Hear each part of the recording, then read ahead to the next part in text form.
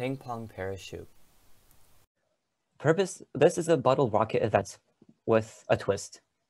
You will be designing a rocket that will la launch a ping pong ball attached to the top with a, oh, sorry, with a parachute attached to it on the top of the rocket. So the rocket, you put a ping pong ball with parachute on top, it flies up, and then uh, when it falls down, the parachute should unfold and keep the ping pong ball aloft for as long as possible. So the better your parachute is, the longer time you'll have, the better your score. For the rocket, it's obvious that the bigger of a rocket you use, the better. So, however, they place a restriction on this. It has to be a one liter soda bottle that's unmodified, and you pump it full of air, not water as shown here, up to 40 pounds per square inch of pressure. So there's a pump, you pump it up, and then once you've reached the desired pressure, which could be less than that, you activate the trigger mechanism and this bottle rocket will fly up and then it falls down, parachute unfolds, and ping pong ball slowly comes to drop. Well, I wish it was all that simple. Let's take a look at how some of the previous year's teams coped with this event.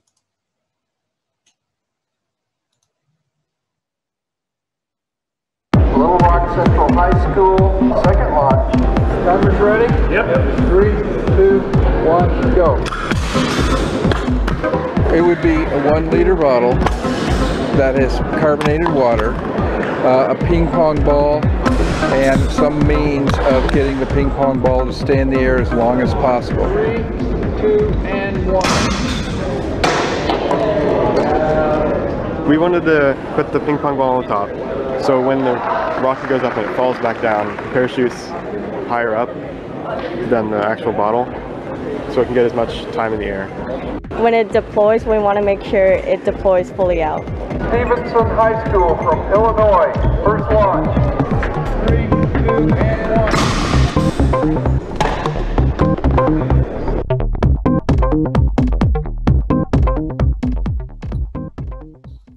despite the simple appearance of this event, many teams performed poorly at this last year, likely due to a lack of performance.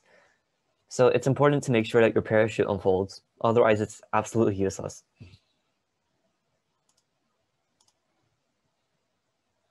Now, this event is actually very affordable, unlike some of the previous ones where you need to have a fancy build, you have a aluminum 3D print, blah, blah, blah.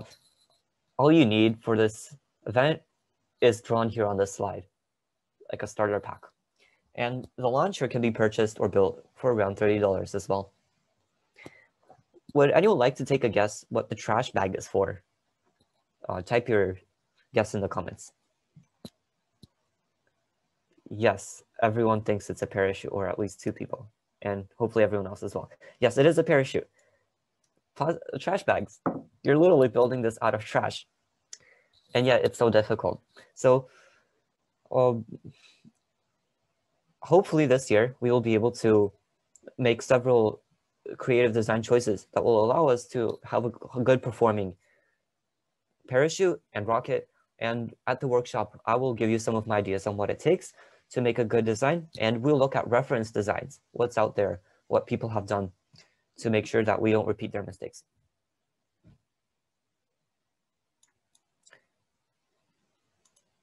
Now, this is kind of the, I, I, mentioned this was an aerospace event. Now, this is why I think so. Or the two, the bottle rocket and the Wright Stuff, they're kind of toy versions of two things that are literally big achievements of humanity. One of which is commercial aviation, and the other one is spacebound rockets. And so these events, they're quite simple, right? Just making stuff out of trash and uh, or flying a paper airplanes. But really what's happening is you're getting foundational hands-on experience with aerospace, which is a beautiful area of science and engineering, which that delivers a lot of value to human society. And so if you ever choose to do aerospace engineering, you will have an understanding for how these things work and why things happen this way. And basically have a feel of something as abstract as airflow. I mean, we can't feel air, but we can watch how an airplane behaves and know how certain changes will affect the way it flies. And I guess I could I could give you a little tour of all of the places aerospace engineering could take you. So we have here, we have commercial aviation, which is all of your flights. If you want to go visit your relatives on another continent, hop on a plane and voila. And this is done by a company called Boeing, which you might have heard of, it's pretty huge. Uh, then we also have rockets, which take us to space uh, and do research and I guess fly rich people to have a cool vacation as of now. uh, and one of the companies doing this is SpaceX, right? Uh, familiar with that one, hopefully. We also have fighter jets, which are the extreme version of planes, my favorite. So these planes, like, they're not designed to carry 150 passengers, but they're designed to travel at three times or two times the speed of sound and do that for thousands of miles. It's a huge, difficult challenge. And one thing is, since they're warplanes, they also have to figure out a way to not be detected by the enemy's radar.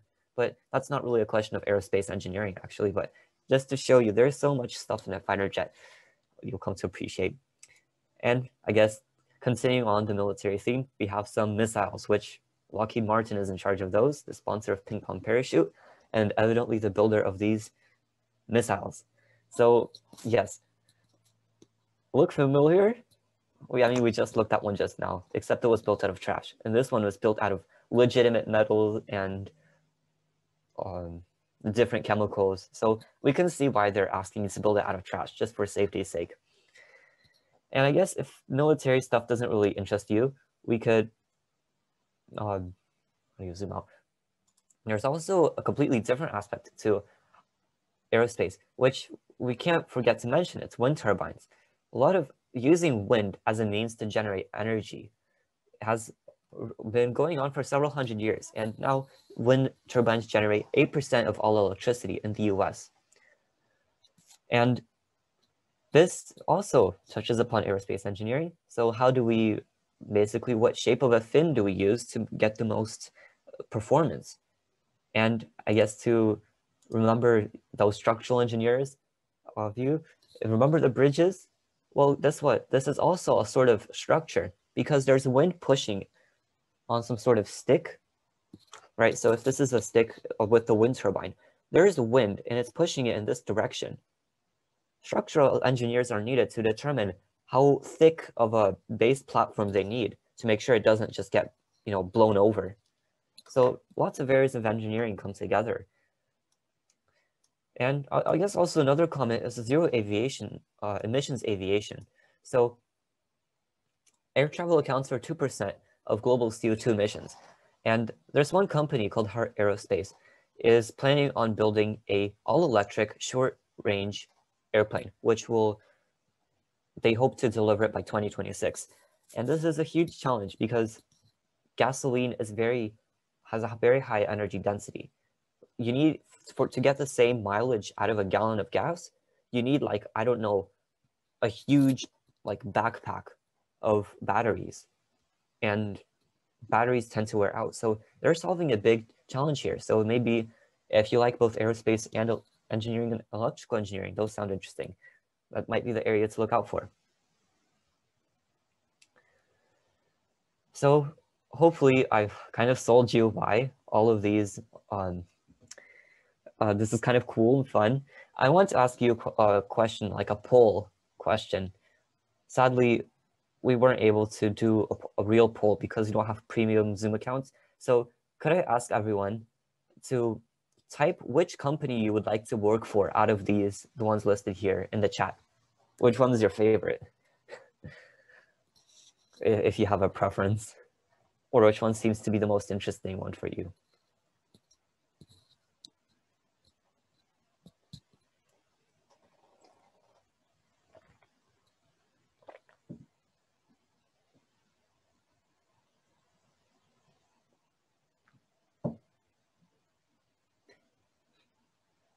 Okay, I guess no one likes aerospace. well, that's not a problem. You'll you'll have several years to determine which major you want to go into. My personal favorite is, I guess, yeah, I guess, okay, Vestas, Someone likes wind turbines. Yay, sustainable future. Um, I actually like Lockheed Martin, but I guess, or I forgot which one. Yeah, I think because they designed F-35 fighter jet. So these two companies here, uh, Northrop Grumman and Lockheed Martin, they're they're the ones getting all your taxpayer money because we pay taxes, but then the government has a huge military budget, and these two companies are the ones saying, "Hey, we have a new fighter jet we want to build," and the government says, "Cool, let's build it," and we pay for them. So, yeah, interesting.